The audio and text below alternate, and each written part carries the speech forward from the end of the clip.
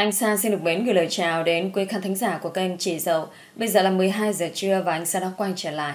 Buổi trưa ngày hôm nay thì anh Sa sẽ gửi đến cho quý vị và các bạn tập 4 của bộ truyện Thay em làm cô dâu đến từ tác giả Cẩm Tiên.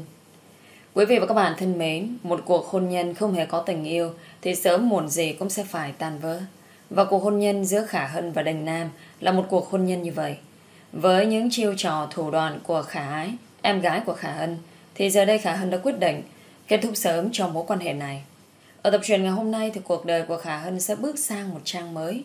Vậy thì chúng ta hãy cùng chờ đợi xem là cuộc sống của cô ấy sẽ thay đổi như thế nào. Và rồi thì cô sẽ gặp lại định mệnh cuộc đời của cô, đó chính là anh chàng trắng phàm kia. Họ sẽ gặp lại nhau trong tình huống ra sao. Và câu chuyện mới dành cho cuộc đời của Khả Hân sẽ có những diễn biến tiếp theo như thế nào. Thì xin mời quý vị và các bạn hãy cùng với anh Sa đến với nội dung tập truyện này nhé. Sau khi lắng nghe xong thì quý vị và các bạn cũng đừng quên nhấn like, chia sẻ và đăng ký kênh ủng hộ anh Sa cũng như ekip chỉ sổ. Cảm ơn mọi người rất nhiều.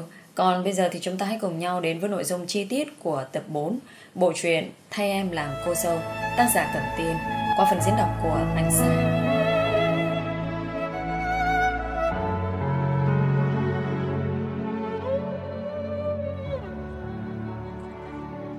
Tôi nghe đến đó thì cũng hiểu ý mẹ hắn nói là gì. Tôi liền cười nhạt rồi chen vào câu nói của mẹ hắn. Con đồng ý à? Bà cảm thấy vô cùng bất ngờ nhìn tôi. Mẹ của hắn đang khó hiểu. Bởi vì tôi vẫn chưa nghe xong câu nói mà đã vội đồng ý như vậy. Bà liền hỏi lại tôi. Con biết là mẹ sẽ nói gì không? Mà lại đồng ý như vậy. Tôi nghĩ là đến nước này rồi thì không cần nhân nhìn gì nữa. Tôi không muốn ở lại để phục tùng ai cả. Tôi hít một hơi thật sâu, lấy can đảm, nói với mẹ hắn. Con biết là mẹ đã chấp nhận khả ái và mong mẹ thông cảm cho con. Con và Đình Nam không thể nào tiến triển được hơn nữa. Con muốn ly hôn. Bà nghe những lời tôi nói không biết trả lời như thế nào cả. Bởi vì làm như vậy thì mẹ hắn cảm thấy rất đáng thương cho tôi. Khả Hân à Thật sự thì mẹ cũng không muốn như vậy đâu. Nhưng mà con hãy thông cảm cho mẹ nhé. Thông cảm cho em của con và cả đỉnh Nam nữa. Mẹ, Con làm điều này là vì con, Không phải vì bất cứ một ai cả. Con xin phép mẹ, Con về phòng thu xếp đồ đây. Ngày mai thì con sẽ đi, Và trong hôm nay, Đơn ly hôn sẽ được ký. Mẹ cứ nghỉ ngơi đi, Con về phòng đi à Khả Hân, Con Mặc kệ cho mẹ hắn muốn nói gì đi chăng nữa, Tôi cũng không muốn nghe.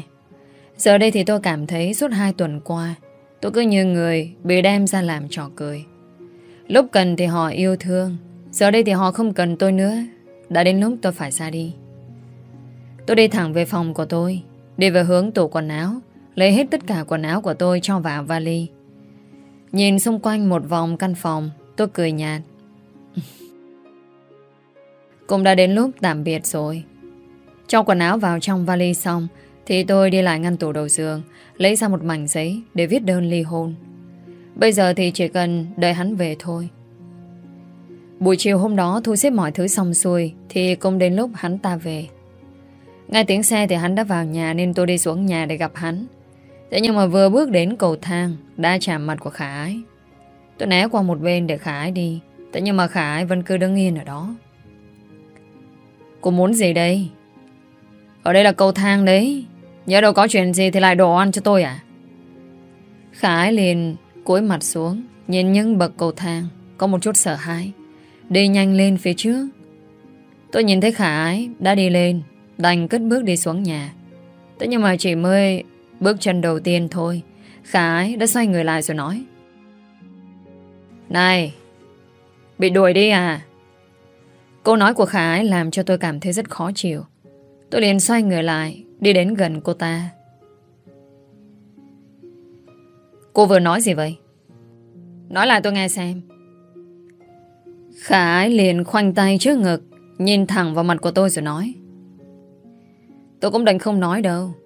Nhưng mà tôi nghĩ là phải nói với chị. Chị biết vì sao không? Mẹ của Đình Nam đã nói chấp nhận tôi làm con dâu của bà ấy. Và cho tôi và Đình Nam lấy nhau. Ai... Chị biết là chị cũng chỉ là con cờ Để cho người khác khống chế thôi. Bà ấy cần cháu hơn là con dâu ngoan. À, à mà không Chị thì ngoan cái gì đâu. Đồ dơ bẩn. Bố một tiếng.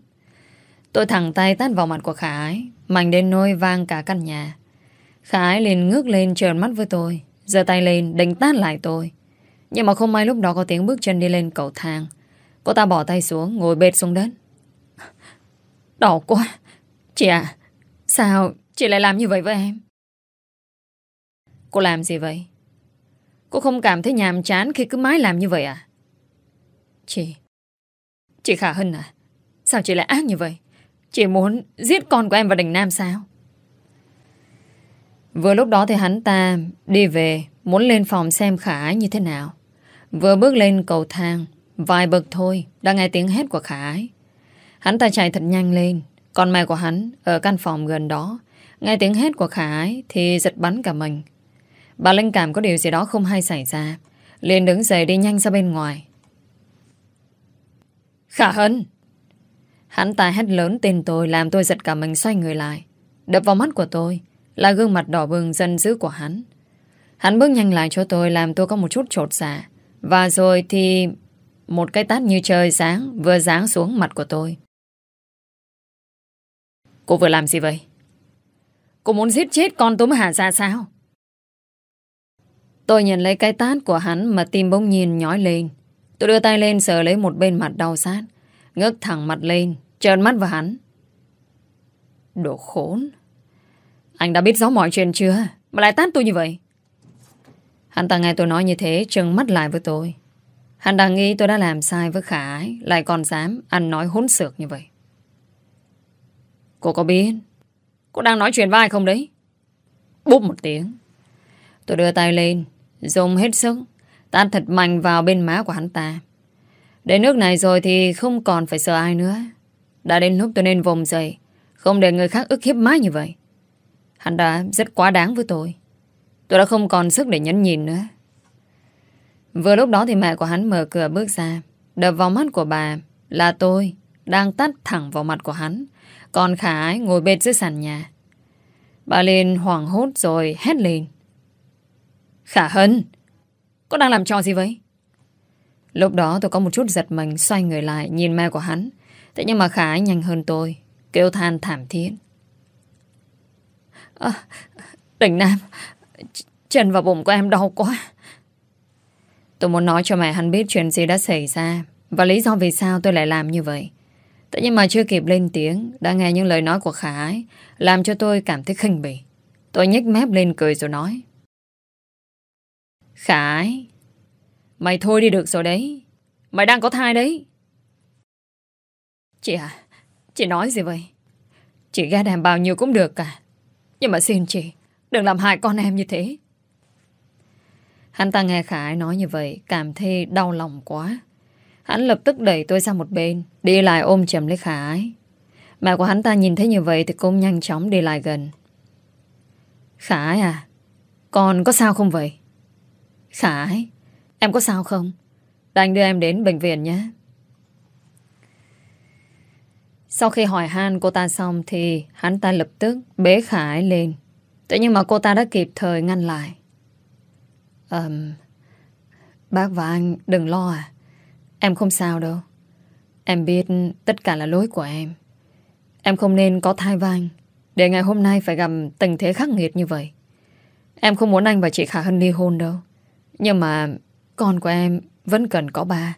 Em cũng không thể Tôi càng đứng ở đây Thì lại càng cảm thấy khó chịu. Tôi không được Khải nói hết câu liền chen ngang vào lời nói của Khải Thôi đủ rồi đấy. Đừng nói gì nữa. Giấy ly hôn đây, Anh kỹ đi. Trả tự do cho tôi. Hắn ta nghe xong thì ngước lên nhìn tôi, Rồi nhìn vào tờ giấy trên tay của tôi. Hắn liền cau mày lại. Tôi đã nói với cô thế nào? Cô muốn ly hôn đến như vậy à? Mẹ của hắn bây giờ mới để ý Trên tay tôi đang cầm tờ giấy. Bà lên đỡ Khải đứng dậy rồi Sau đó nói. Là mẹ đã nói Khả Hân ly hôn với con. Mẹ không muốn con khó xử đâu. Khải đang rất tức giận. Bởi vì đến giờ phút này thì hắn vẫn chưa chịu cái giấy ly hôn với tôi. Đình Nam, Chị Khả Hân, Lỗi là do em. Em xin lỗi hai người nhiều lắm. Chị nói đúng, Em không nên xuất hiện ở nơi này. Chị nói rất đúng. Đứa con của em là khắc tinh của chị. Em xin lỗi. Hai người không cần ly hôn đâu. Em sẽ rời đi. Từng câu từng chữ của Khả Ái nói, Hắn đều nghe rất rõ. Hắn ta tức giận rồi hét lên. Không cần đi đâu cả. Em cứ ở yên đấy. Đình Nam à Em... Thật sự là tôi rất mệt mỏi và nham chán khi mà đứng ở đây. Tôi nghĩ là không cần đến ngày mai nữa mà trong hôm nay tôi sẽ rời đi. Mày diễn đạt lắm rồi đấy. Ăn ở không? Không có việc gì làm. Nói anh ta đưa mày đi làm diễn viên đi. Bố một tiếng. Hắn ta liền tát tôi một cái rất mạnh đến nỗi tôi cảm nhận môi của mình đã có vị máu tươi. Ngọn lửa trong lòng của tôi như bùng nổ. Tôi đưa tay lên môi, lau vết máu, nhìn ngón tay dính máu của mình rồi cười nhạt. Ánh mắt sắc bén của tôi nhìn đăm đăm vào hắn ta. Rồi từ từ tôi bước lại gần hắn. Sau đó thì hai cái tát liên tiếp nữa Giáng thẳng vào mặt của anh ta. Tôi dùng hết sức lực của mình Để nôi tay của tôi Sưng tấy lên đau rát. Tôi nói cho anh biết Tôi không sợ bất cứ ai cả Trong đó có cả anh đấy. Mẹ hắn không kiềm chế được nữa Thốt ra những lời cay nghiệt. Khả Hân Tôi đúng là nhìn nhầm cô mà. Cô là loại phụ nữ độc ác, tàn nhẫn. Tôi đã từng rất tin tưởng cô. Vậy mà giờ đây cô xem đi Cô đã làm những gì vậy? Cô không thích khả ái. Đang mang thai sao? Tôi nghĩ cô ngoan hiền. Vậy mà ngày hôm nay, Cô lại làm tôi quá thất vọng đấy. Tôi có một chút khẩn lại Khi nghe những lời nói đó được thốt ra từ mẹ hắn. Nhưng mà rồi thì tôi liền cười lớn, Nói hết những gì trong lòng đang chất chứa. Mẹ chồng tôi đây sao?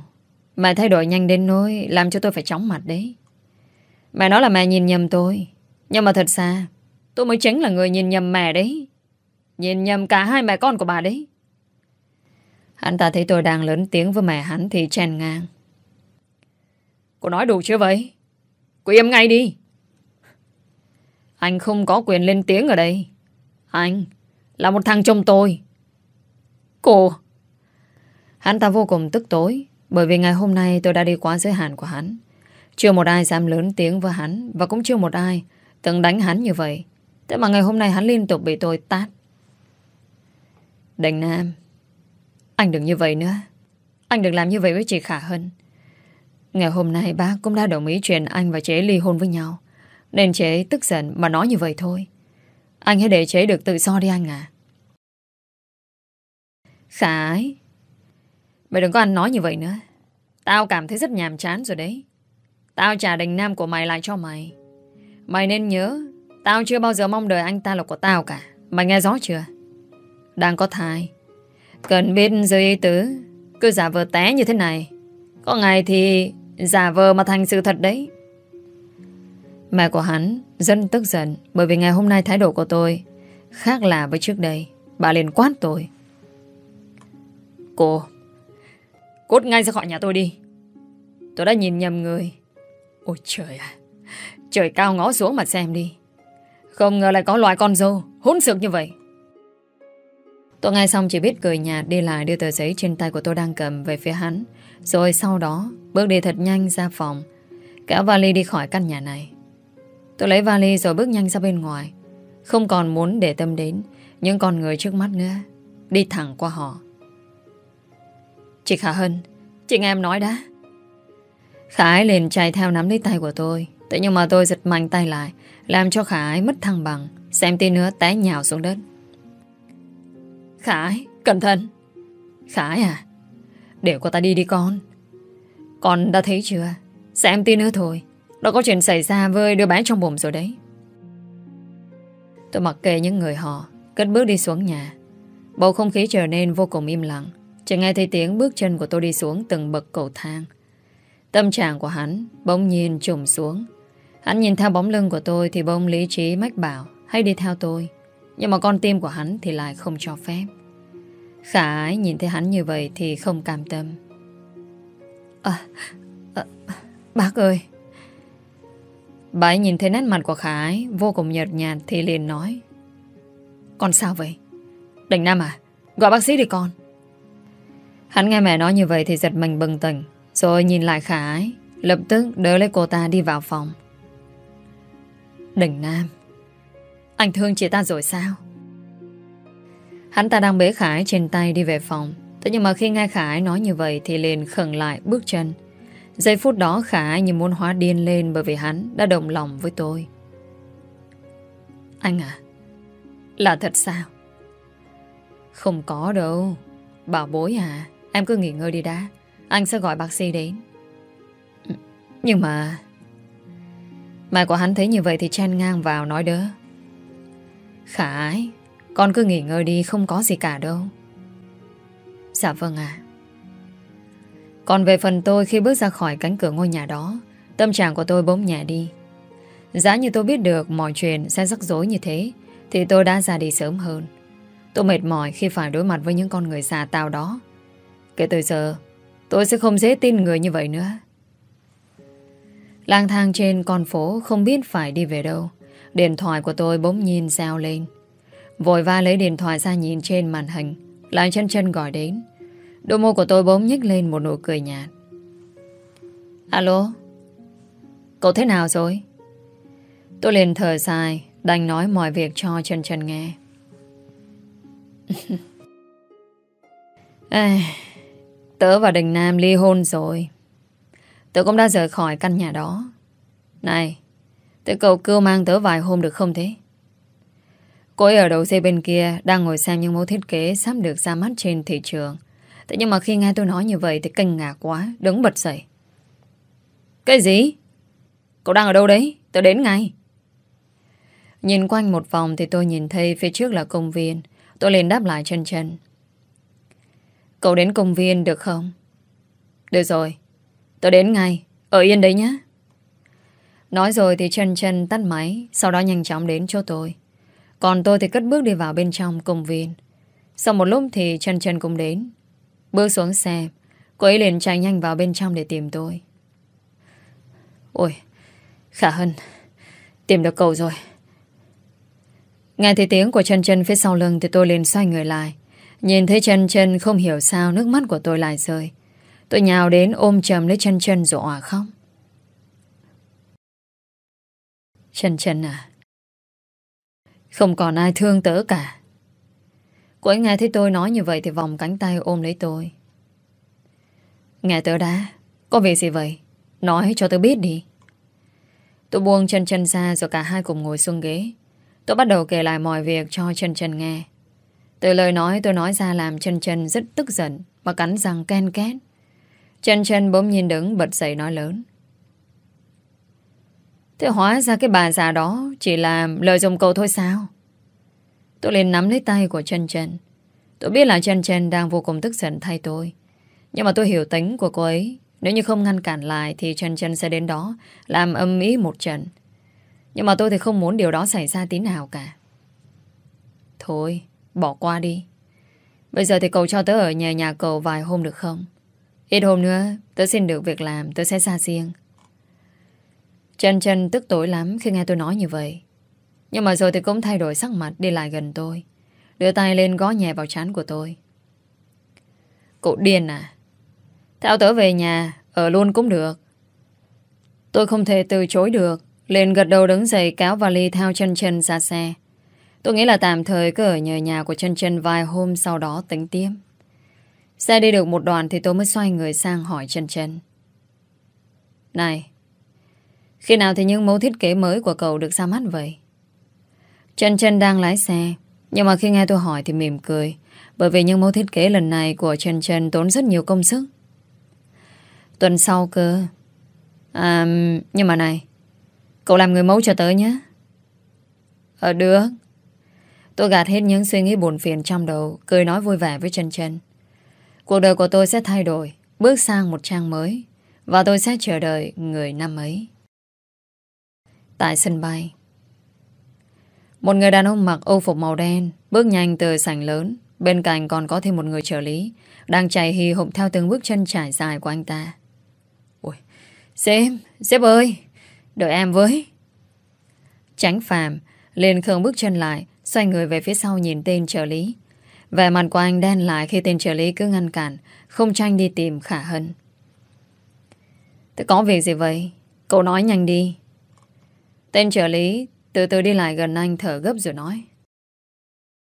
À, Sếp à Sếp nghe em nói đây Trong hai tuần qua thì Khả Hân đã kết hôn. Anh nghe thấy lời nói của tên trợ lý Thì vô cùng kinh ngạc. Anh tự trách bản thân giá như hai tuần trước. Anh nói Anh là chàng trai 11 năm trước Thì hay biết mấy. Chỉ mới hai tuần trôi qua Vậy mà mọi thứ đã thay đổi rất nhiều. Nhìn thấy anh cứ im lặng như vậy Tên trợ lý có một chút sợ hãi ấp ống nói tiếp. Um, Sếp ơi Người Khả Hân lấy là bạn trai của em gái Khả Hân. Đập chậu cướp hoa đi. Để lại một câu ngắn gọn cho tên trợ lý Rồi anh cất bước đi ra xe. Tên trợ lý như vẫn chưa hiểu ra lời nói của anh, Vẫn cứ đứng yên ở đấy. Sau vài giây như đã tiếp thu được lời nói, Thì tên trợ lý vội vã chạy theo. Ơ, Sếp à Thật như vậy sao? Đợi em với. Khi cả hai đều lên xe về công ty Thì anh liền nói với tên trợ lý. Điều tra về cô ấy trong hai tuần qua. Vâng ạ. Trên đường từ sân bay đến công ty Thì phải đi ngang qua nhà của chân chân Bỗng nhiên lúc đó anh nhìn ra hướng cửa kính Thì thấy trần trần và Khả Hân Đang kéo vali vào nhà. Anh liền lên tiếng kêu tài xế của anh Tấp xe vào bên đường. Dừng lại đã. Tên trợ lý nghe thấy như vậy Cứ nghĩ là anh muốn vào thăm em họ của mình. Đành mở cửa mời anh bước ra Nhưng đã bị anh ngăn lại. Cứ ngồi yên đấy. Ừ, Sao vậy sếp? Thì sếp không xuống thăm chân chân à? Anh không hề trả lời lại người trợ lý Chỉ đăm đăm nhìn qua khung cửa kính. Tên trợ lý thấy như vậy Thì cũng nhìn theo anh. Ừm à, Sếp ơi Là Khả Hân đấy. Nhưng mà sao cô ấy lại kéo vali vào nhà chân chân thế kia? Lúc đó thì tôi và chân chân đã đi vào bên trong Nên anh đành xoay người lại với tên trợ lý. Cậu biết phải làm gì rồi đấy. Tên trợ lý nhếch môi lên cười rồi nói Dạ vâng, thưa sếp. Quay trở lại lúc này thì tôi và chân chân vào phòng Chân chân bảo tôi đi tắm để chuẩn bị xuống nhà dùng cơm Nhà của chân chân rất lớn Thế nhưng mà cô ấy đã sống tự lập từ rất lâu Đã nhiều lần chân chân bảo tôi hãy qua sống cùng nhưng mà tôi lại từ chối bởi vì tôi rất ngại. Quần áo, giày dép của tôi một phần cũng là tiền của cô ấy mua cho. Tôi rất biết ơn và trân trọng tình bạn này. Sau khi tắm rửa làm vệ sinh xong thì tôi cùng với chân chân đi xuống phòng dùng bữa trưa. Chân chân, cảm ơn cậu nhé.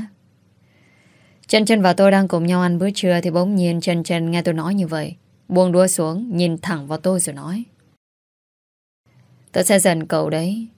Nếu như cậu còn nói cảm ơn tớ như vậy Tôi liền mỉm cười khi thấy chân chân như thế Thôi Tớ sai rồi uhm, Nhưng mà này Tớ đành sẽ tìm việc gì đó để làm Tớ không thể nào cứ ở nhà mãi được Cậu giúp tớ nhé Chân chân liền thở dài ngắn ngầm Rồi khoanh tay trước ngực, Nhìn tôi một lúc Tạm thời thì cậu làm người mẫu cho tớ đi Sau này tính tiếp Tôi nghe chân chân nói như vậy thì nhìn lại thân hình của mình. Đúng quả thật không tệ. Gương mặt của tôi phải nói là trắng như da em bé. Môi thì đỏ hồng tự nhiên. Tôi có đôi mắt biết nói, cùng với nụ cười tỏa sáng, làm cho không biết bao nhiêu trái tim đã tan chảy. Có rất nhiều lần bọn con trai đến gần ngỏ ý làm quen nhưng mà tôi đều từ chối. Thế nhưng không thể nào bỏ lỡ thân hình chuẩn như hoa hậu của tôi ba vòng đầy đủ. Được rồi, tôi sẽ làm người mẫu cho cậu. Chân chân liền hài lòng rồi gật đầu cười tươi. Ăn uống xong thì tôi và chân chân cùng nhau lên phòng nghỉ ngơi. Tại tập đoàn nhà họ Tuyến. Anh bước vào tập đoàn, đi thẳng về hướng thang máy dành riêng cho tổng giám đốc. Khi anh bước vào sảnh, không biết là bao nhiêu ánh mắt của những cô nhân viên đang nhìn theo bóng lưng của anh. Có nhiều người thèm thuồng đến chảy cả nước dãi. Bởi vì đồ đẹp trai của anh. Thân người cao lớn 1m80 Khuôn mặt thì hút hồn, Không biết bao nhiêu nơi giới Anh biết chứ, Nhưng lại không hề quan tâm đến bất cứ một ai cả Đi thẳng vào trong thang máy, Đi lên phòng làm việc của anh Thang máy lên tầng 40 Anh bước ra Đi ngang qua bàn làm việc của thư ký Ngô, Anh liền dừng lại. Thư ký Ngô là người đã theo làm việc cho anh được hơn 3 năm nay. Cô ta rất ngưỡng mộ anh Và đã đem lòng yêu anh từ rất lâu. Anh cũng biết điều đó, Nhưng mà anh không quan tâm đến. Anh xoay người nhìn thư ký Ngô, Một suy nghĩ bỗng nhìn lóe lên trong đầu của anh. Đôi môi của anh bỗng nhích lên một nụ cười, Như có như không, Rồi bước đi thẳng về phòng làm việc. Tên trợ lý khó hiểu khi thấy anh như vậy Nhưng mà không làm gì được Ngầm ngồi đi theo vào bên trong. Còn thư ký ngô đang đứng ở đó Tim đập liên hồi. À, Tuyết tránh phàm Anh ấy Anh ấy vừa cười với mình sao? Cô ta liền đưa tay lên ngực Để ngăn con tim đừng đập loạn nữa. Rồi thì bỗng nhiên nước mắt của cô ta rừng rừng Bởi vì quá vui sướng. Cuối cùng Thành cũng đã để cô ta vào mắt. Cả ngày hôm đó cô ta không làm được việc gì cả. Cứ nhớ đến khi anh nhìn cô ta rồi cười. Mỗi lần nghĩ đến hình ảnh đó, Cô ta lại vội vã lấy tay Bịt mặt lại bởi vì đỏ ửng lên. Tại phòng làm việc của Tránh Phàm, Anh bước thẳng lại bàn làm việc Ngồi xuống, Ngón tay thon dài gó gó lên mặt bàn. Tên trợ lý Bước lại gần, cúi thấp đầu rồi nói với anh. Sếp à Vậy có cần điều tra hai tuần qua nữa không? Anh không quan tâm đến câu hỏi của tên trợ lý, Mà nhìn xung quanh một vòng phòng làm việc của mình. Bỗng nhìn Anh đưa tay lên chỉ về một góc gần cửa rồi nói, Chuẩn bị một cái bàn làm việc ở đó cho trợ lý mới. Lời anh nói ra làm tên trợ lý sợ xanh cả mặt, Đổ có mồ hôi hột. Tên trợ lý vội ngước mặt lên, ấp úng nói Ờ Sếp à Sếp nói gì vậy? Sao sếp lại Anh biết làm trợ lý đang hiểu sai ý anh muốn nói lên chen vào, Không cho tên trợ lý nói hết câu. Đi nhanh đi. Không thì về tự làm đơn xin nghỉ việc đi. Tên trợ lý nhanh nói như vậy Thì cúi đầu nhận lệnh, Rồi ba chân bốn cẳng chạy nhanh ra khỏi phòng làm việc. Không khí trong phòng làm việc trở nên Im lặng hẳn đi. Ngồi trầm tư một lúc Thanh mới đưa tay lên túi áo, Lấy điện thoại ra, gọi cho cô em họ yêu quý của anh. Chân chân và tôi lúc này đang xem tivi Thì bỗng nghe thấy tiếng điện thoại. Chân chân vội cầm điện thoại lên, Nhìn thấy trên màn hình là Hai chữ anh họ. Cô liền hút hoảng đứng bật người dậy. Ờ Anh họ sao? Anh ấy về khi nào vậy? Ui Thôi chết rồi. Hành động của chân chân làm tôi rất tò mò. Tôi liền hỏi chân chân. Này, cậu sao thế? Là anh họ gọi à? Ừm, giúp tớ. Cậu nghe máy đi.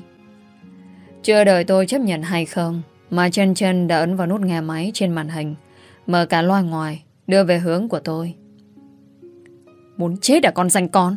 Sao bây giờ mới? Anh ta định hỏi chân chân tại sao, Để anh ta đợi máy lâu đến như vậy. Nhưng mà chưa hỏi hết câu thì tôi đã lên tiếng. Alo? Chào anh, tôi là Khả Hân. Đầu dây bên kia đang rất tức tối bởi vì Chen Chen đã cho anh đợi máy lâu như vậy. Thế nhưng mà khi nghe tiếng nói của Khả Hân thì anh ta liền đứng bật dậy. Gương mặt của anh đỏ ửng lên giống như quả cà chua chín vậy. Bởi vì nghe được giọng nói của người con gái, anh thầm nhớ suốt mười mấy năm nay. Bỗng nhiên lúc đó tên trợ lý bước vào làm anh giật mình, làm rơi cả chiếc điện thoại xuống bàn. Bụp một tiếng. Anh hốt hoảng, nhặt chiếc điện thoại lên thì là nhìn thấy màn hình vẫn bình thường. Ở đầu dây bên kia thì Khả Hân vẫn còn nghe máy. Môi của anh lúc này bỗng nhích lên một đường cong. Tên trợ lý thấy anh như vậy thì bật cười lớn rồi nói. À, sếp à, mặt anh... Cút! Anh quát lên như vậy làm tên trợ lý giật bắn cả người, xoay người lại, chạy nhanh ra phía cửa. Đầu dây bên kia, lúc này thì tôi vẫn đang giữ máy. Ngay anh ta quát thì làm tôi có một chút sợ. Tôi liền ngước mặt lên lườm chân chân còn chân chân thì chắp tay cầu xin tôi. Cả người của chân chân cũng run rẩy. Cô ấy liền nói nhỏ. Xin cậu đấy Giúp tớ đi mà. Nhìn thấy bộ dạng cô ấy như vậy rất đáng thương Tôi đành phải giúp cô ấy lần này. Mà Tôi nhớ mang máng Tên của anh ta là Tránh Phạm. Tôi liền cầm điện thoại rồi nói với anh ta. Um, Tránh Phạm anh thì đang vô cùng tức giận bởi vì bộ sàng này của anh đã bị tên quản lý nhìn thấy. Khi nghe Khả Hân gọi anh thì anh liền bừng tỉnh rồi đáp. À, anh đấy. À, à không, xin lỗi, tôi nhầm. Anh cầm chiếc điện thoại để trên tay mà cứ đi tới đi lui xung quanh một vòng trong phòng làm việc. Bất chợt anh nhớ đến việc cần làm bây giờ không phải là ngại ngùng mà phải đi vào vấn đề tránh bắt Khả Hân về bên anh. anh ho lên vài tiếng rồi lấy lại vẻ mặt lạnh lùng. Anh nghiêm túc nói. Um, chân chân đâu? Tôi biết là con nhóc đó đang ở kế bên cô. Chân chân thì đang chắp tay cầu khẩn cho anh đừng nhắc đến tên của mình. Thế nhưng khi nghe anh ta nói thì chân chân liền thả người rơi tự do xuống ghế sofa. Tôi thấy như vậy thì bịt chặt mồm lại để không cười ra thành tiếng. Vô đưa điện thoại lại cho cô ấy. Này, nghe máy đi. Tránh phàm biết là Trần Trần đang ở gần tôi. Khi nghe tôi nói như vậy Thanh liền lên tiếng. Trần Trần, có nghe không vậy? Um, em nghe, em nghe đây. Anh họ. Sắp xếp đến công ty làm trợ lý. Nghe rõ chưa? Trần Trần biết ngay là anh gọi đến thì không có điều gì tốt lành cả. Cô ấy muốn khóc thành tiếng với anh ta. Nhưng mà vội nhìn sang tôi đang ngồi xem tivi rất sung sướng. Bỗng nhìn một dòng suy nghĩ lóe lên trong đầu của Trần Trần. Cô ấy cười tươi giói rồi nói vòng vào điện thoại. Anh à, em không đến làm việc um, nhưng mà em có người thay vào vị trí đó. Vậy nhá. Anh cũng không cần trả lời lại đâu, anh họ à. Nói rồi thì chân chân vội vã tắt máy. Sau đó tiến lại gần ôm chầm lấy cánh tay của tôi. Tôi thì đang ngơ ngác vào hành động của cô ấy. Ơ, cậu sao thế? Khả Hân à, cậu đang cần công việc có phải không? Ngay chân chân hỏi như thế tôi liền với tay lấy chiếc điều khiển tivi bấm tắt rồi xoay người lại đối diện với cô. Bởi vì thời điểm này tôi đang rất cần công việc ổn định để kiếm thêm thu nhập. Chứ không thể nào ở lại đây làm phiền chân chân mãi được. Ừ, đúng như vậy. Cậu giúp tớ nhé. Uhm, thế em, cậu đến công ty làm quản lý cho anh họ tớ đi. Nghe chân chân nói như vậy thì không hiểu sao hình ảnh của anh ta lại hiện ra trong đầu của tôi. Nhớ lại cái ngày của hai tuần trước Nếu như anh ta không đến kịp lúc Thì không biết là giờ đây Tôi và chân chân đã như thế nào Gương mặt của tôi bỗng nhiên ẩn hồng lên Tôi ấp ống rồi nói um, um, Việc này Chân chân nhìn điều bộ của tôi Thì liền nghĩ là tôi sẽ không đồng ý Vội vàng lay lay cánh tay của tôi Khả Hân, Bạn tốt của tớ, Cậu giúp tớ đi. Cậu biết đấy, Bộ sưu tập của tớ sắp ra mắt rồi, Tớ cậu không thương tớ à? Được rồi, Tớ giúp cậu được chưa? Cậu đúng thật là bạn tốt đấy, Khả hơn à Phải như vậy chứ. Trần Trần liền ôm chầm lấy tôi vui mừng. Còn tôi thì à, Cũng rất vui, Nhưng mà thôi không nói nữa. Dù sao giờ đây thì tôi cũng đã có công việc rồi. Không cần phải nhờ vả vào chân chân nữa Này Tới khi nào thì tớ được đi làm vậy? Trần Trần nghe tôi hỏi thì liền buông tay ra khỏi người tôi rồi nói. Ngày mai nhé. Ngày mai thì tớ sẽ đưa cậu đến công ty. Tôi liền gật đầu mỉm cười. Như vậy là hôm đó là cái hôm mà tôi cười nhiều nhất. Quay lại tránh phàm. Lúc này khi cuộc gọi vừa tắt, đôi môi của anh nhếch lên một đường cong. Anh thật sự muốn nhảy cấn lên bởi vì không ngờ được rằng mục đích của anh đã thành công mỹ mãn. Nhớ về 11 năm trước, cô gái nhỏ mà anh đã từng gặp dưới gốc cây bàng. Lúc đó thì anh thật ngốc khi đã hứa với cô gái nhỏ đó. Sau này sẽ tìm cô và lấy làm vợ. Thế nhưng mà anh lại quên rằng mình vẫn chưa nói cho cô gái nhỏ đó biết anh tên là gì. Và anh cũng không hề hỏi cô gái nhỏ đó nhà ở đâu.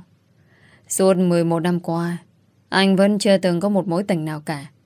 Anh vẫn hy vọng một ngày nào đó gặp lại được cô gái nhỏ năm xưa, để anh bảo vệ và không làm cô gái đó phải khóc nữa.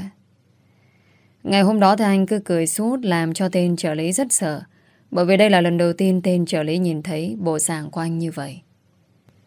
Buổi sáng ngày hôm sau Thì tôi dậy rất sớm, Bước vào phòng tắm làm vệ sinh cá nhân, Thì liền đi xuống nhà làm đồ ăn sáng cho chân chân Sau một lúc thì cũng nấu xong bữa sáng. Lúc đó thì chân chân cũng đi vào phòng bếp. Ôi Thơm quá cậu à Cậu dậy rồi sao Chân chân liền đến gần tôi nhìn vào nồi súp tôi đang nấu, cười tít cả mắt. Đây là món mà chân chân rất thích. Sao thế? Muốn lấy lòng tớ à? Mau qua bàn ngồi đi, Tớ đem ra cho cậu Chân chân nghe tôi nói như vậy Đi lại bàn ăn ngồi xuống Tôi cũng múc ra hai bát súp rồi bê qua bàn ăn Đưa một bát về hướng của chân chân Bát còn lại là cho tôi Chúc cậu ngon miệng nhé. Ăn nhanh còn đến công ty nữa. Chân chân nghe tôi nói đến công ty Thì liền trêu chọc tôi. Này Cậu có cần gấp đến như vậy không? Thế hay là ai kia muốn gặp anh tránh phàm Của nhà tớ đây? Tôi đang cho thìa súp vào miệng Nhưng mà khi nghe những lời nói của chân chân Làm tôi muốn sặc sủa Cái gì? Cậu điên à? Ai, Rồi đấy nha cứ nói là tớ điên đi, Nhưng mà để thử xem. Tôi không trả lời lại mà lườm chân chân. Thấy như vậy nên cô ấy không nói gì nữa, liền cúi mặt xuống, Thưởng thức món súp yêu thích nhất. Ăn sáng xong thì tôi và chân chân cùng nhau đến công ty nhà họ Tuyết. Ngày hôm qua thì tâm trạng của tôi rất bình thường. Không hiểu vì sao giờ đây khi ngồi trên xe chuẩn bị đến công ty, Tim của tôi cứ đập mạnh liên hồi. Tôi có một chút lo sợ, không biết lần này Gặp anh sẽ như thế nào. Bỗng nhiên tôi lại nhớ đến cái ngày ở quán bar. Lúc đó thì anh ta thật quyền lực, Ai ai cũng nể phục anh ta cả. Chợt nhớ đến lần trước, Anh ta đã nhặt giúp tôi chiếc khăn, Nên tôi liền mở túi sách ra, Lấy chiếc khăn ra ngắm nghía. Lúc này thì khóe môi của tôi cũng nhếch lên một đường cong nhẹ.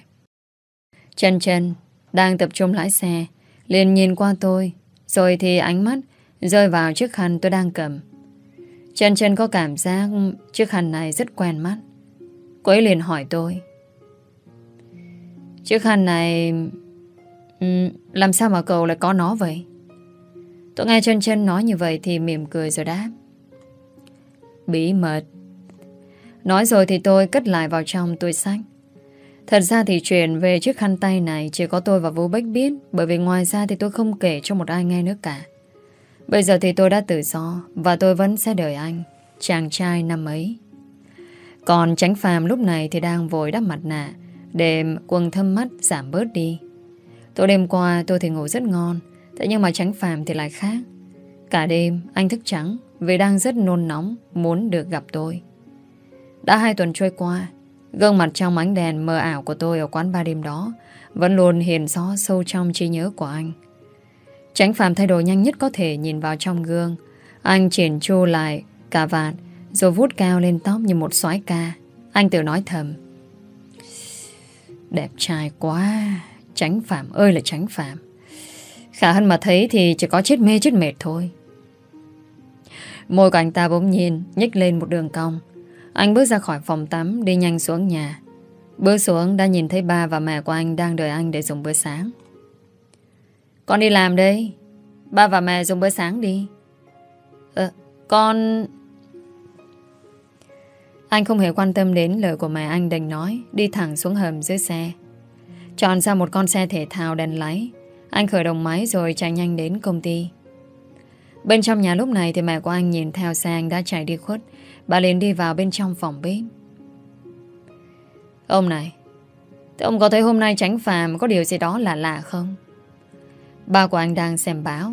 Nghe bà nói như vậy thì lên gấp tờ báo lại để xuống bàn ăn. Ông nói thì chắc là nó có bạn gái rồi đấy. Mình ăn sáng đi, Tôi đói sắp ngất rồi đây. Mình này, Sao mà tính mình cứ như trẻ con như vậy chứ? Nói rồi thì hai ông bà nhìn nhau bật cười. Bà ngồi xuống bên cạnh ông. Hai người họ cùng nhau ăn bữa sáng.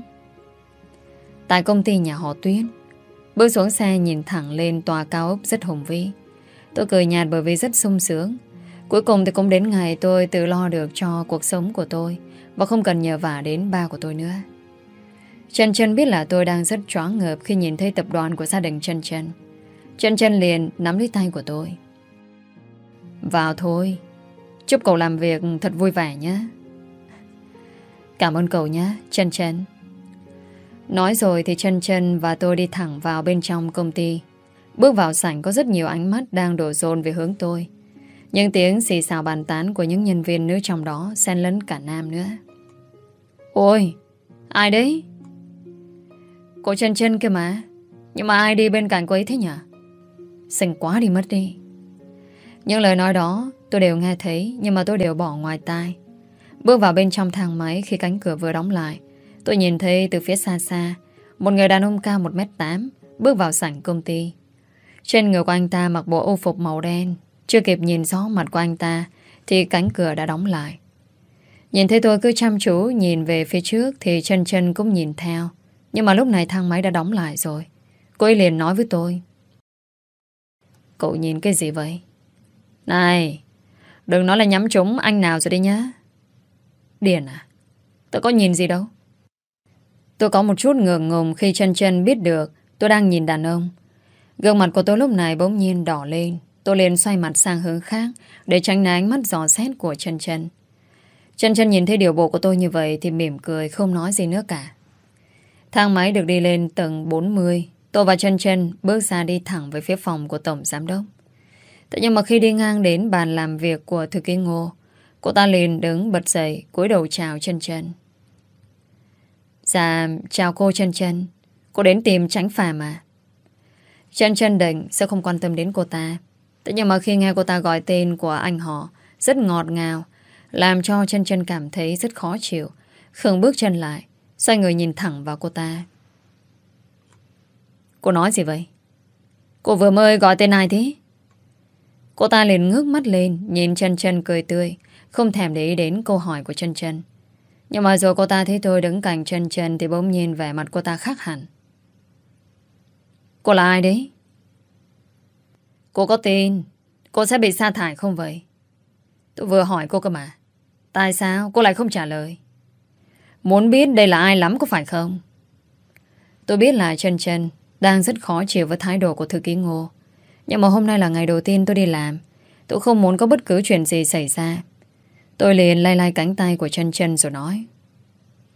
Trần Trần Đi thôi. Cô ấy liền xoay người qua tôi cười rất tươi rồi nói. Chị sâu Chị phải cho em nói ra được không? Thì chị sẽ mất chồng như chơi đi chị ạ. Tự cái ngô nghe đến đây thì rất kinh ngạc. Khi mà lại nghe thấy Trần Trần nói ra những lời nói đó với tôi, Lại còn cười rất vui vẻ nữa. Cô ta liền hỏi lại Trần Trần. Ừ, cô nói gì vậy? Trần Trần không trả lời lại cô ta, Mà vẫn cứ nhìn đăm đăm vào tôi. Còn tôi lúc này thì đang rất khó hiểu Với lời nói của Trần Trần. Bỗng nhìn một dòng nam Phát ra từ sau lưng của tôi. Trần Trần nói đúng rồi đấy vợ. Câu nói của anh làm trai cũng phải giật mình. Thư ký ngô liền cuối nhà người xuống chào anh ta. À, Tổng giám đốc Chúc anh buổi sáng tốt lành à Anh ta không hề quan tâm mà đi thẳng lại Cốc nhà vào đầu của chân chân rồi nói. Tại sao đưa vợ anh đến mà lại không báo trước vậy? À, à, anh họ Ừ, đấy Đấy Em gái trả vợ lại cho anh đấy Tôi đứng ở đó nghe anh ta và chân chân nói mà không hiểu gì cả. Tôi rất bất ngờ khi anh ta cũng nói tôi là vợ của anh ta. Ừ, um, này, hai người... Lời còn chưa kịp nói hết, anh ta đã nắm lấy tay của tôi, đi vào bên trong phòng làm việc. Giây phút bàn tay của anh ta chạm đến tay tôi, dường như có luồn điện chảy qua vậy. Lòng bàn tay của anh ta rất mềm mại, ấm áp. Trái tim của tôi lúc đó bỗng nhiên giống như lỡ đi một nhịp vậy. Chân chân nhìn thấy như thế thì mỉm cười. Nhìn thấy bóng lưng của tôi và anh ta đã đi vào phòng, liền xoay người về hướng thư ký ngô. Cô đã nhìn thấy gì chưa? Cô cũng đẹp đấy. Thế nhưng mà không đẹp bằng chị sâu của tôi. Cô nãy anh họ của tôi ra đi. Nếu không thì đừng trách tôi xé xác của già đấy. Cô nghe rõ chưa? Không cần đợi cô ta trả lời. Chân chân liền bước đi thẳng vào phòng làm việc của tránh phạm. Thư ký ngô lúc này muốn phát điên bởi vì tức giận. Ba năm qua thì cô ta muốn cố gắng làm việc để được gần anh. Thế nhưng mà anh thì không bao giờ quan tâm đến cô ta. Giờ đây lại còn nói anh có vợ. Còn đàn bà chết tiệt đấy. Mày dám cướp tránh phàm sao? Để tao xem. Mày có được sống yên không đây? Quay lại tôi và anh ta. Khi vào phòng thì anh ta không hề buông tay của tôi ra. Mà xoay người lại nhìn thẳng vào mặt của tôi. Tôi nhìn thấy như vậy thì cũng ngước mắt lên nhìn anh ta. Bốn mắt nhìn nhau Tim tôi lúc này đập loạn xạ. Tôi cảm thấy có một cảm giác rất quen thuộc Từ trong đôi mắt của anh ta Tôi rất muốn hỏi tôi và anh ta đã có biết nhau từ trước chưa Nhưng mà chưa kịp hỏi Thì chân chân đã đi vào trêu chọc Ôi rồi ôi Giả thành thật rồi sao Anh họ à có cần nhanh như vậy không Tránh phàm nghe đến đây thì giật mình buông tay tôi ra. Anh ta lùi về sau vài bước vẻ mặt hơi ngại ngùng. Rồi thì xoay lưng lại về phía tôi. Tránh phàm giả vờ ho lên vài tiếng để làm tan biến đi sự ngại ngùng trong anh. Khi quay lưng lại, anh liền cười rất tươi về kế hoạch của anh đã thành công mỹ mãn, lại còn vượt xa ngoài mong đợi nữa. Ngày hôm nay anh được nắm đôi bàn tay mềm mại đó của Khả Hân, làm con tim của anh giờ đây lại càng thêm xào xuyến. Um, em nói gì thế? Chẳng phải là anh đang giúp em sao? Anh ta liền tiến lại bàn làm việc của anh ta rồi ngồi xuống ghế. Chân chân nhìn thấy như vậy, liền kéo tay tôi lại ghế sofa ngồi xuống.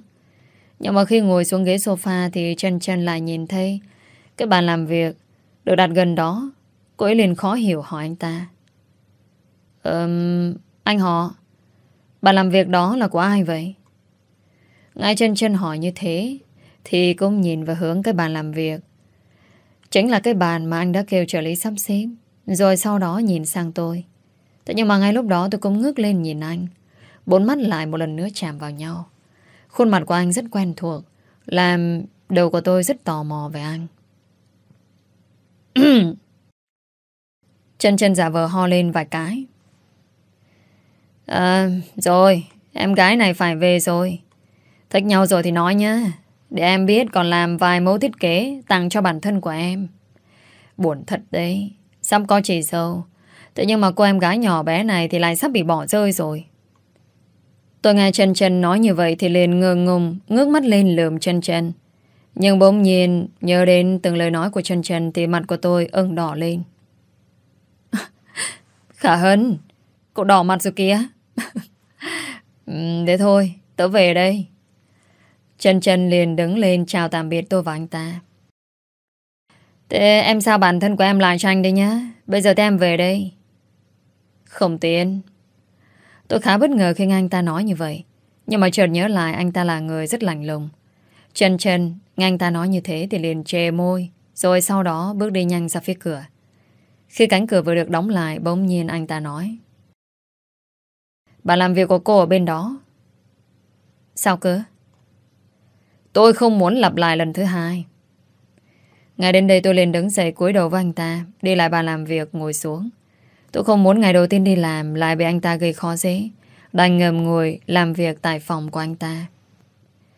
Bỗng nhiên cánh cửa phòng được mở ra làm tôi có một chút giật mình. Tên trợ lý bước vào với vẻ mặt đầy hốt hoảng và lo sợ. Sếp! Không có tay à? Tên trợ lý đang run rẩy sợ hãi bởi vì dự án bên Mỹ đã bị nhà đầu tư khác cướp mất. Nhưng mà giờ đây càng sợ hơn nữa khi bị anh ta quát như thế. Cố gắng lấy lại bình tĩnh, tên trợ lý nói. Sếp à, có việc không hay rồi đấy. Tránh phàm đang xem sắp hồ sơ trên tay thì bỗng nhiên đóng mạnh lại. Nói. Dạ thưa sếp, dự án bên Mỹ đã bị cướp rồi. Tôi nghe như vậy thì liền lén nhìn trồm xem nét mặt của anh ta như thế nào. Nhưng mà vẻ mặt của anh ta vẫn lành lùng không có một chút biểu cảm. Sắp xếp ngày mai bay sớm qua đó. Vâng ạ. Tên trợ lý liền cúi đầu đi ra ngoài. Còn anh ta thì vội lấy điện thoại trong túi áo ra, nhắn tin riêng cho tên trợ lý. Đoàn giúp tôi thêm một vé máy bay nữa. Tên trợ lý đi được vài bước thì nhận được tin nhắn. Vội lấy ra xem thì lại nhìn thấy trên màn hình, dòng tin nhắn của tránh phạm. Gì vậy sếp? Bắt con gái người ta vào tận phòng làm việc, Bây giờ lại đòi đưa nàng đi xa nữa. Tên trợ lý liền thở dài ngắn ngầm Thư ký ngô ngồi gần đó Luôn quan sát nét mặt của tên trợ lý, Xem có gì đáng nghi không. Cô ta liền hỏi.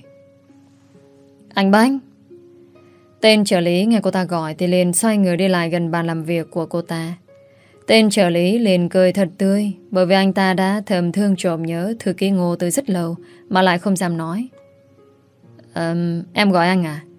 Em cần anh giúp gì sao? Cô ta liền đứng dậy rồi mỉm cười.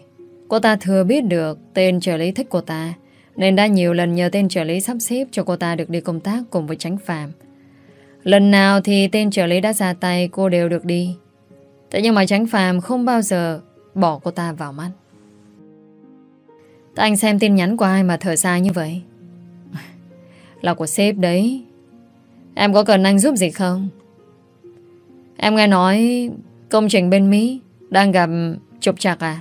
Em muốn... Tên trợ lý nghe cô ta nói như vậy hiểu ra ý của cô ta là muốn đi cùng. Anh ta liền đáp lại. Tôi muốn đi cùng có phải không? Cô ta liền cười tươi gật đầu lia lịa. Nhìn thấy cô ta như vậy, tên trợ lý cũng không nỡ lòng nào để cô ta ở lại. Nhưng mà rồi suy nghĩ lóe lên trong đầu của anh ta. Anh ta nghĩ tránh phàm đi cùng Khả Hân thì anh ta sẽ rất cô đơn. Thay vì vậy, anh ta sẽ cho cả thư ký ngô đi cùng. Như vậy thì ai cũng sẽ có đuôi có cặp cả. Được. Vậy có gì anh báo giờ bay cho em nhé. Dạ vâng ạ. Ngay những lời nói ngọt ngào của thư ký ngô mà tim của tên trợ lý điêu đứng. Còn thư ký ngô thì rất vui mừng bởi vì được đi công tác cùng với tránh Phạm. Tại phòng của Tổng Giám Đốc. Um, sếp ơi, tôi phải làm gì à? Hai tiếng đồng hồ trôi qua. Tôi vẫn ngồi chỉ biết nhìn anh ta làm việc. Anh ta không hề sao cho tôi bất cứ một công việc gì cả. Làm tôi cảm thấy rất nhàm chán. Tôi nhớ là chân chân nói tôi đến đây để làm trợ lý cho anh ta. Công việc của trợ lý rất bận. Tôi nhìn thấy tên trợ lý hết đem công văn này đến công văn khác vào cho anh ta xem. Đến thời gian thở cũng không có. Nhưng mà tôi thì lại khác, chỉ ngồi chơi, rồi lén lút nhìn trộm anh ta làm việc. Còn tránh phàm, mục đích là bắt được Khả Hân đến đây, để gần bên anh, nên không nói sao việc gì cho Khả Hân làm cả. Nhưng mà cứ cái đà bắt Khả Hân ngồi mãi như vậy, thì cô ấy sẽ nhàm chán. Anh cũng đành giao việc cho Khả Hân. Đi pha cà phê giúp tôi đi. Tôi ngay đến đó, có việc để làm rồi. Vui mừng đứng bật dậy, cười thật tươi cuối nhà người. Dạ vâng ạ. Nói rồi thì tôi liền chạy thật nhanh ra bên ngoài đến phòng pha cà phê. Nhưng mà đâu ai hay biết rằng anh ta khi nhìn thấy được nụ cười của tôi Tim anh ta bỗng nhìn đập liên hồi Nhìn thấy Khả Hân đã đi khỏi cửa Anh vội vàng bỏ cái viết trên tay đang cầm xuống Nga người Tựa vào ghế suy nghĩ Quý khán thính giả của kênh Chị Dầu thân mến, Như vậy là anh Sa vừa mang đến cho quý vị và các bạn tập truyện ngày hôm nay Và với tình huống vừa rồi khép lại tập truyện này Thì thực sự là đã khiến cho chúng ta phải đặt ra một câu hỏi đó là không hiểu là mười mấy năm về trước thì giữa Tránh Phàm và Khả Hân đã từng gặp gỡ nhau trong tình huống như thế nào để lại ấn tượng xa sao mà lại khiến cho Tránh Phàm không thể nào quên được cô như vậy. Giờ đây thì cả hai người lại còn làm việc cùng trong một văn phòng nữa. Tại anh Sang nghĩ là không sớm thì muộn gì, tình cảm cũng nảy sinh thôi. À, tuy nhiên có một rào cản khá lớn à, đang chờ đợi cả hai người phía trước đó chính là thư ký Ngô. Cô gái này đang để mắt đến Tránh Phàm mà phải nói là yêu đơn phương từ lâu rồi. Và thậm chí là cô ta lại còn bắt đầu cảnh khóe với à, những người nào xuất hiện bên cạnh tránh phàm nữa. Và đương nhiên là trong tương lai thì cô ta sẽ gây khó dễ không ít cho Khả Hân. Anh sang nghĩ là như thế. Trước mắt thì sẽ có một chuyến đi công tác dài ngày à, với cả bốn nhân vật này. À, và đặc biệt là có cả thư ký ngô trong chuyến đi này thì hứa hẹn sẽ có nhiều điều bất ngờ xảy đến đây.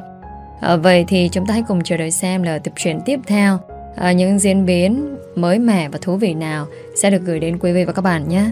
Sau khi lắng nghe xong thì quý vị và các bạn cũng đừng quên nhấn like, chia sẻ và đăng ký kênh ủng hộ anh Sa cũng như ekip chỉ sầu.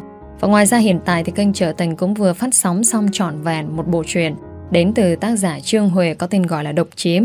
Ờ, một bộ truyện rất hấp dẫn, rất thú vị. À, và cũng hy vọng rằng quý vị và các bạn có thể thưởng thức trọn vẹn bộ truyện này. Còn bây giờ thì thời lượng chương trình đã hết rồi. Anh Sa xin kính chào tạm biệt và chúc tất cả quý vị và các bạn một ngày an lành và thật nhiều sức khỏe.